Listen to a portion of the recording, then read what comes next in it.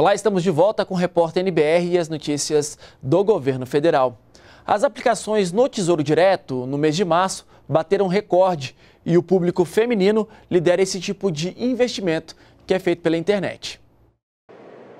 Sempre que sobra um dinheirinho, as pessoas logo pensam em guardar. Poupança, aplicações de renda fixa, ações, são muitas opções. O investimento seguro e com retorno em tempos de crise pode parecer impossível, mas não é.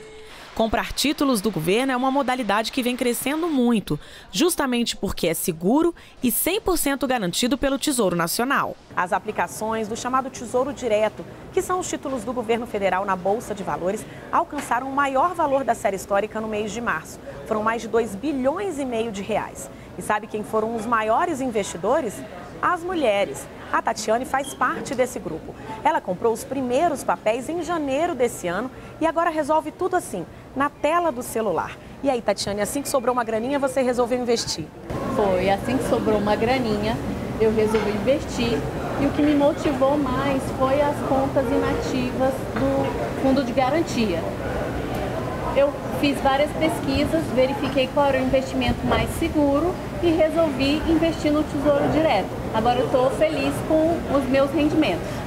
E a Tatiane está certa. Os especialistas confirmam que o Tesouro Direto é um dos melhores investimentos para quem busca segurança e retorno garantido. As taxas são bem menores que as dos bancos e um rendimento bem acima das aplicações de renda fixa, como a poupança, por exemplo.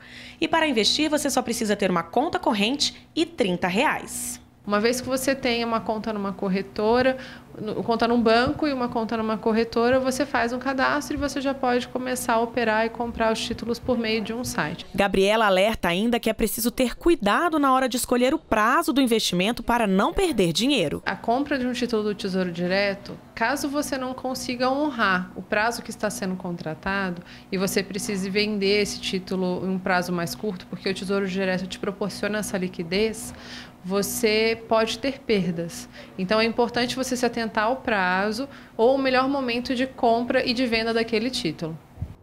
E para garantir mais transparência e agilidade nas compras feitas pelo governo federal, foi lançada uma ferramenta online pelo Ministério do Planejamento.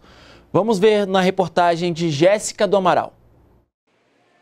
Pesquisar preço e buscar sempre a melhor oferta faz parte do dia a dia das pessoas. Quando se trata de economia, quanto mais você pesquisar, é melhor para o seu bolso. Por exemplo, um arroz, um feijão está um preço, o outro mercado já está um outro preço.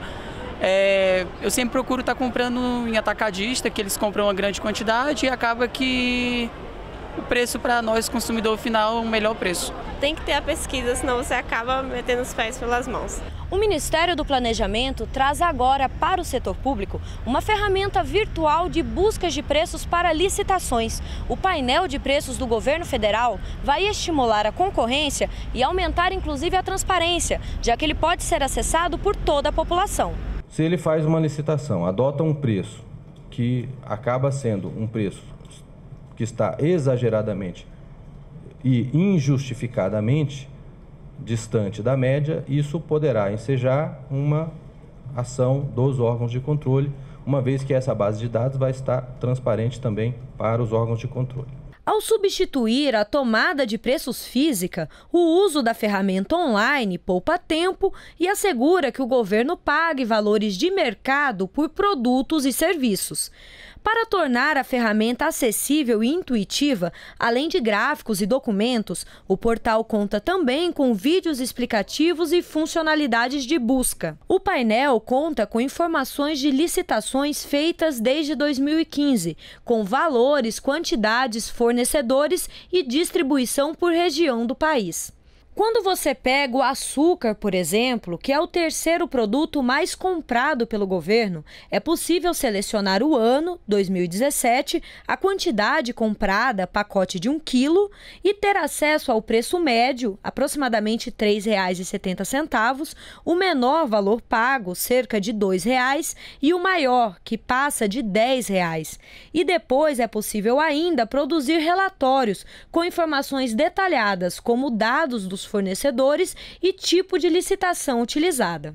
O que nós esperamos é que, a partir é, da utilização frequente e continuada dessa ferramenta, haja uma maior convergência dos preços e, portanto, uma redução nos custos de aquisição de bens e serviços na administração pública.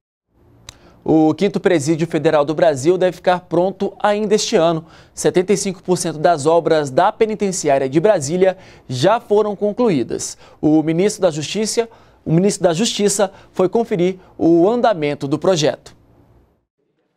O presídio de segurança máxima, que está em construção em Brasília, terá 12 mil metros quadrados de área construída e capacidade para 208 detentos. A obra, que faz parte do sistema penitenciário federal, cumpre determinações da Lei de Execução Penal. Nesta segunda-feira, o ministro da Justiça vistoriou as futuras instalações. Nós somos, de alguma forma, uma parte muito singela da segurança pública a segurança pública é, essencialmente é de competência dos estados. Os estados gastam em torno de 100 bilhões de reais por ano nos seus orçamentos.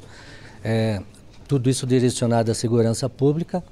E nós temos uma pequena parte, que eu diria em torno de 10% disso que nos cabe. Esse será o quinto presídio federal construído no país para abrigar presos de alta periculosidade. A inauguração está prevista para o final de setembro desse ano. A penitenciária terá equipamentos de segurança de última geração, salas de monitoramento e inteligência, departamentos jurídico e de saúde. O investimento total é de 45 milhões de reais. Essa unidade ela é exatamente igual às outras quatro que já de Catanduvas, Porto Velho, Campo Grande e Mossoró. E todo um complexo de assistencial envolvendo assistência jurídica, é, visita virtual, assistência médica, odontológica, psicológica, enfim, todo, todo tipo de assistência que, os, o, que se faz necessária para manter esse sistema. O governo federal também planeja construir mais cinco penitenciárias como essa. Os locais ainda vão ser definidos. A perspectiva do Plano Nacional de Segurança é que nós tenhamos mais 25 mil vagas, o que também não significa muita coisa, mas evidentemente desafoga. E temos outros mecanismos que estão sendo utilizados para que nós tenhamos uma demanda é, reduzida. Nós ficamos por aqui, voltamos a qualquer momento com outras informações ou ao meio-dia na próxima edição do Repórter NBR. Outras notícias você pode acompanhar também pelas nossas redes sociais. Continue com a gente aqui na NBR, a TV do Governo Federal.